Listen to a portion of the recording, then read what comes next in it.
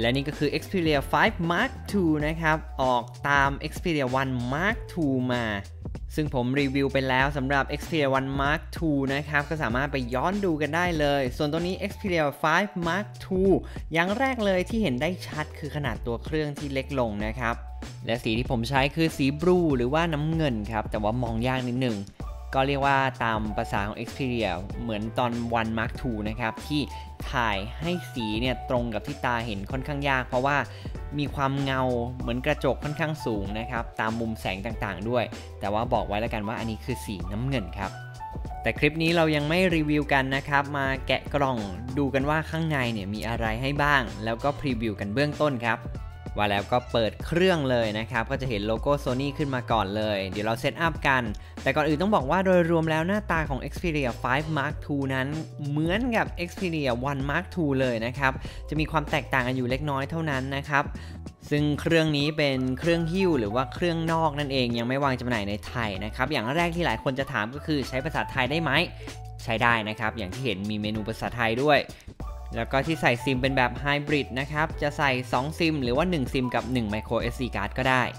อย่างแรกเลยที่แตกต่างก็คือตัวเครื่องบอกเลยว่ามีปุ่มเพิ่มมาปุ่มหนึ่งทางด้านขวานะครับ ใกล้กับปุ่มชัตเตอร์กล้อง ปุ่มนี้เป็นปุ่มคำสั่งของ Google Assistant โดยเฉพาะเลยนะครับ เพิ่มขึ้นมาอีกหนึ่งปุ่มแล้วถ้าใครสังเกตดีๆ จะเห็นเลยว่ากรอบเครื่องนั้นเป็นแบบโค้งมนครับสำหรับ Xperia 5 Mark II ซึ่งต่างจาก1 Mark II ตรงที่ว่าเป็นเหลี่ยม ขนาดตัวเครื่องที่เล็กลงหน้าจอก็เลยเล็กลงด้วยนะครับ จาก 6.5 เนี่ย เหลือ 6.1 สำหรับ Xperia 5 Mark II ครับ ทำให้เวลาถือหรือว่าพกพาเนี่ย น่าจะสบายขึ้นเยอะเลยนะครับ เพราะเดิมที Xperia 1 Mark II ตัวเครื่องเนี่ย หน้าจอใหญ่ทำให้มีความสูงที่มากนะครับ เนื่องจากอัตราส่วนของจอไม่เหมือนใครที่ 21 ต่อ 9 ซึ่ง 5 Mark II เองก็อัตราส่วนนี้เช่นเดียวกัน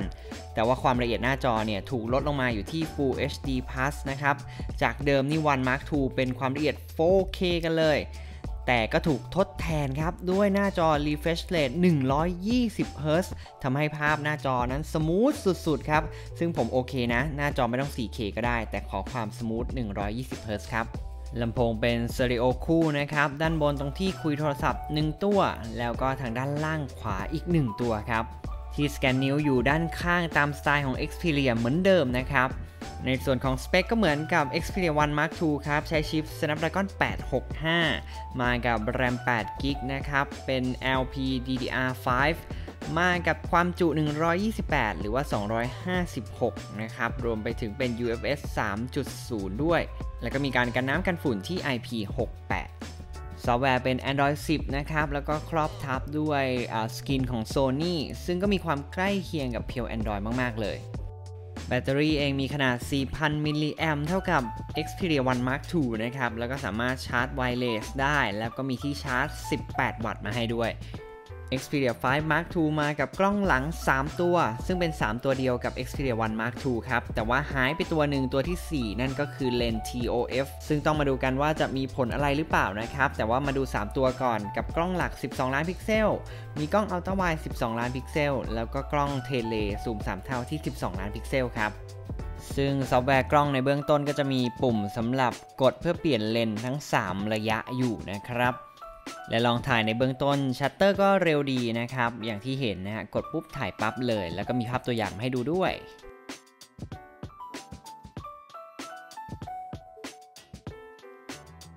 และในส่วนกล้องหน้าก็เหมือน Xperia 1 Mark II เช่นเดียวกันที่ 8 ล้านพิกเซลครับ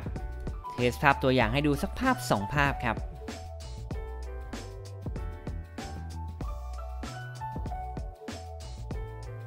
และนี่คือการพรีวิวเบื้องต้นสำหรับ Xperia 5 Mark II นะครับ ก็เรียกว่าเป็นตัวย่อขนาดของ Xperia 1 Mark II แต่ว่าก็มีอะไรที่แตกต่าง แล้วก็น่าสนใจกว่า Xperia 1 Mark II อยู่เหมือนกันนะครับ ซึ่งตอนนี้เครื่องหิ้วในไทยขายอยู่ประมาณ 29,000 บาทนะครับ แฟนๆ ของ Sony Xperia ก็รอกันสักหน่อยนะครับ เดี๋ยวผมขอใช้สักแป๊บหนึ่งแล้วเดี๋ยวมารีวิวกันนะครับ อาจจะไม่เจาะลึกมากตัวนี้อาจจะเป็นจุดที่แตกต่างจาก Xperia 1 Mark II นะครับ เพราะว่าเรารีวิวเต็มไปแล้วสำหรับ Xperia 1 Mark II นะครับ ซึ่งก็อย่างที่บอกไปย้อนดูได้ แล้วก็เดี๋ยวรอ คลิปรีวิว Xperia 5 Mark II กันอีกที ยังไงฝากกดไลค์ กดติดตาม แล้วก็กดกระดิ่งด้วยละกันนะครับ จะได้ไม่พลาดคลิปต่อไป มีความคิดเห็นยังไงกับ Xperia 5 Mark II คอมเมนต์ได้เลยทางด้านล่าง เดี๋ยวไว้เจอกันใหม่กับผมคิวเตมีนะครับ คลิปนี้ลาไปก่อนไปแล้ว สวัสดีครับ